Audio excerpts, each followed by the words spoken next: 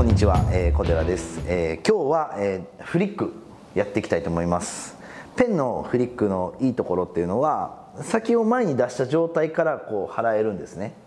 シェイクでこう入ってこう払うって結構難しくてでもこれがペンだったらできるんで何がいいかっていうとこう入ると相手はあ次が来るって思って前に出てくれるんですね。そこをこうポンとこう何ていうんですかね。こうポンとこう奥に送ってあげるだけで結構のお立ち取れるんですね。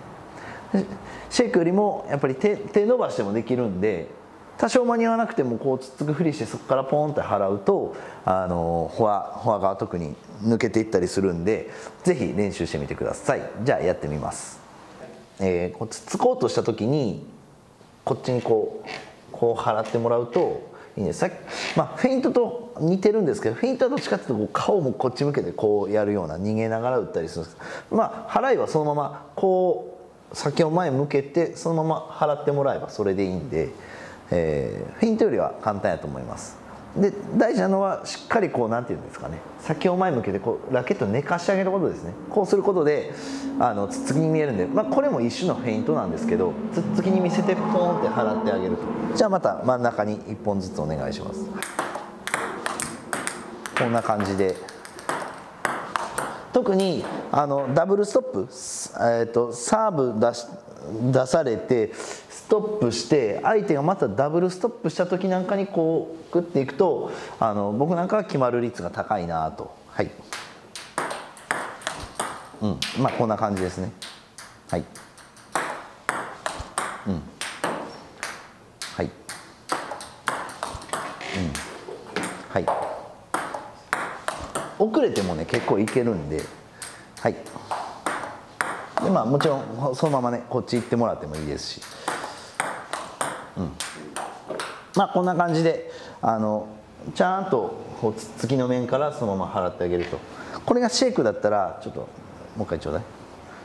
こうやっぱりこうなんかもう払う感じにどうしても見えるんで。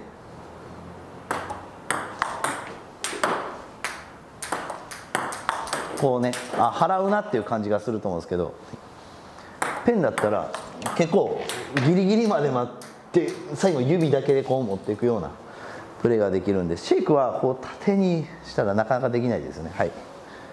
ここからこう、まあ、できなくはないですけどやっぱりペンほど簡単じゃないです。はい。うん。